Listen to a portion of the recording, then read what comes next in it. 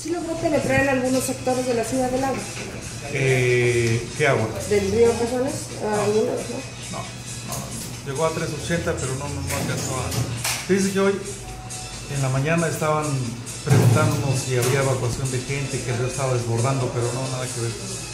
Tenemos grupos voluntarios, eh, que son las brigadas comunitarias en todas las colonias, y con ellos hemos tenido acercamiento precisamente para evitar este tipo de confusiones. ¿Hay psicóticos la gente?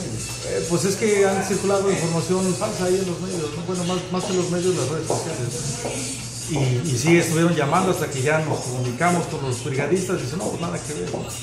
Hacemos la recomendación de la gente que, que está mal informada que se acerque con su brigadista, que ellos tienen la información de primera mano, que la nuestra.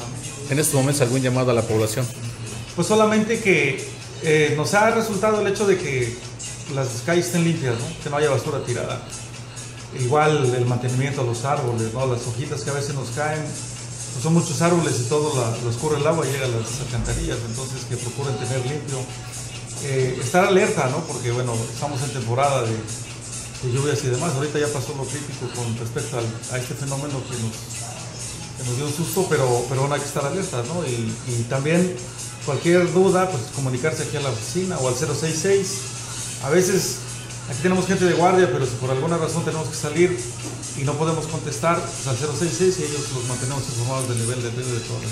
Número eh, telefónico para la población. 82 634 03 es el directo aquí de, de Protección Civil.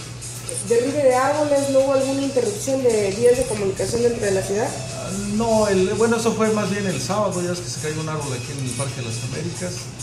Eh, hace rato en la mañanita ahí en el, en el Parque Juárez cayó un árbol, pero ayer como tal no. No, no, no. Es que realmente no llovió, lo que nos afectó fue el agua que escurrió, ¿no? Y ahorita, digo, en la mañana que hubo, sí escucharon los truenos y los relámpagos, pero, pero no nada. Nada, dimos rondines por ahí, no, todo, todo en orden.